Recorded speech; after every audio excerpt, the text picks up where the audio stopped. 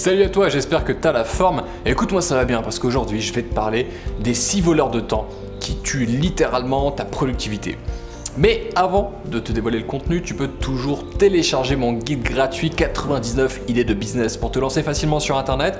En plus de ça, tu auras accès à une série de documentaires inspirants qui montrent ceux qui appliquent ma méthode obtiennent des résultats pour devenir libre, heureux, indépendant tout ça c'est très cool et c'est gratuit. Ça se récupère soit en cliquant au-dessus, soit en dessous de cette vidéo. Il y a un lien. Si tu es terminé, tu vas le trouver. Alors, je te le disais, on va parler des six voleurs de temps. Tu sais, ces petites choses que tu fais sûrement au quotidien, et moi aussi, hein, je les ai fait longtemps, et qui, en fait, euh, t'amènent à dire, mais où est passé mon temps? Je me suis levé, il était 9h aujourd'hui, là, et puis il est 19h, qu'est-ce que j'ai fait? Eh bien, il est fort probable que tu aies fait une de ces six choses, ou même toutes cumulées, c'est pour ça que tu n'arrives pas à avancer sur tes projets. Donc, le premier voleur de temps qui tue ta productivité, c'est le multitâche. Qu'est-ce que c'est le multitâche? Tu es en train de travailler sur ton ordinateur, tu regardes ton téléphone, tu regardes la télé, en même temps tu parles à, quelqu'un, euh, et du coup tu es en train de checker tes mails, tu es sur Facebook, tu es sur Twitter.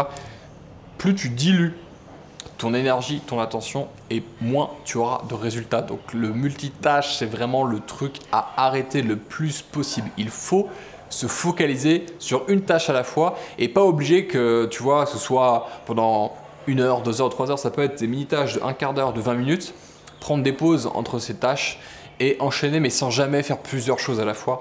Moi j'essaye autant que possible de ne pas regarder mes mails avant la fin de la journée quand j'ai abattu tout ce que j'avais à abattre en termes de boulot.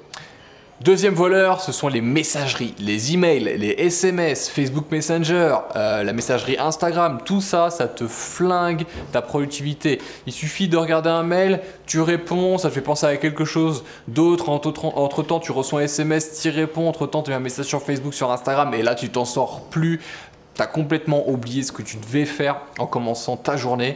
Donc les systèmes de messagerie, ça a éteindre complètement avant que ta, euh, tant que ta journée de travail n'est pas terminée, tout simplement. Troisième voleur de temps, c'est l'absence de priorité. Tu as des petites tâches qui sont pas urgentes, qui sont pas importantes. Tu as d'autres tâches qui sont importantes, euh, pas spécialement urgentes, et tu en as d'autres qui sont vraiment urgentes et vraiment très importantes qui t'apportent des résultats au quotidien dans ton entreprise. Donc c'est ça le genre de tâches à privilégier. Tu peux utiliser des outils pour y arriver comme Todoist par exemple, que j'utilise aussi personnellement, ou des logiciels pour travailler en équipe, en équipe comme Slack, que je te conseille aussi. Il faut prioriser, quitte à supprimer vraiment des choses qui ne servent à rien. Moi, parfois, il y a des emails, j'oublie vraiment d'y répondre, ou je les supprime parce que je ne souhaite pas y répondre. Et tu verras que les messages importants ou les choses importantes vont toujours revenir euh, de par elles-mêmes, tout naturellement. Donc ça aussi, la priorisation est clé.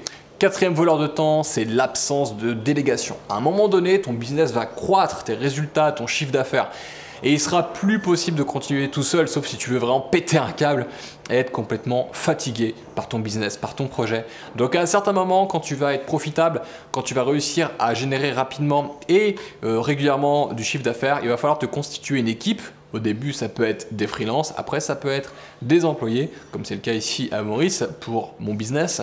Mais il est clairement évident que si tu n'es pas designer ou si, tu n'es pas monteur vidéo, ce n'est pas à toi de faire le design de tes, cours par exemple, de tes logos de produits, ou c'est pas à toi de faire le montage de tes vidéos. Euh, cette vidéo, c'est pas moi qui la tourne, c'est pas moi qui la monte et c'est pas moi qui la publie.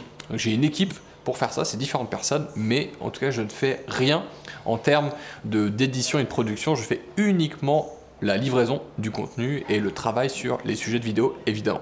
Cinquième voleur de temps, c'est la capacité à dire non. Je reçois énormément de sollicitations, tu dois bien te douter, peut-être que toi aussi, comme tu as un business qui commence à tourner ou qui tourne déjà beaucoup. Donc on va te proposer mille et un projets moi, je dis non à 99% des projets parce que je suis déjà bien occupé. J'ai déjà suffisamment aussi de résultats dans mes, différentes entreprises, dans mes différents business.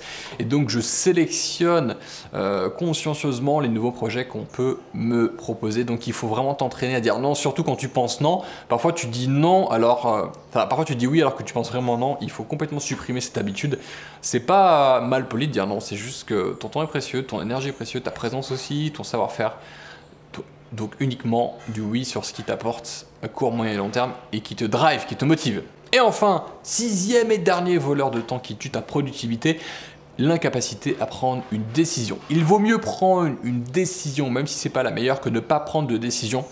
Parce que plus tu es dans la capacité de savoir quoi faire, tu hésites, et plus finalement dans ton cerveau tu vas t'embrouiller, tu vas créer de la procrastination, tu vas vraiment pas te lancer, et, moins tu auras de résultats tout simplement. Donc toujours prendre une décision qui t'a changé encore d'autre que ne pas en prendre, parce que tant que tu n'as pas validé un choix dans ton cerveau, toujours en attente de quelque chose, euh, ça crée de l'anxiété, ça crée du stress. Donc c'est vraiment très mauvais pour toi. Parfois, moi, quand je ne sais pas euh, prendre un choix parmi plusieurs, j'en prends un au hasard, le premier qui vient et je m'en fous, j'y vais. Mais je ne suis pas dans la décision. Il faut prendre très vite une décision. Il y a la règle des 5, des 5 secondes, je te rappelle, de Mel Robbins. C'est un bouquin qui a été écrit par Mel Robbins d'ailleurs, qui t'encourage à prendre plein de mini-décisions par jour, au moins de 5 secondes, ce qui t'entraîne et entraîne ton cerveau à être toujours dans un mode prise de décision et action. Voilà, dis-moi quel est le voleur de temps qui t'empêche le plus d'être productif euh, pendant tes journées en commentaire. Je ferai un plaisir d'y répondre. Tu peux aussi pouce bleuté, partager cette vidéo et t'abonner à ma chaîne en cliquant soit au-dessus, soit en dessous de cette vidéo. Si t'es sur YouTube, il y a un bouton rouge pour s'abonner, puis après il y a aussi un bouton sur une cloche pour recevoir les prochaines notifications de mes vidéos quand je les publie. Je te remercie sincèrement d'avoir regardé ces vidéos et te souhaite une bonne journée. N'oublie pas, c'est toi qui décides. Ciao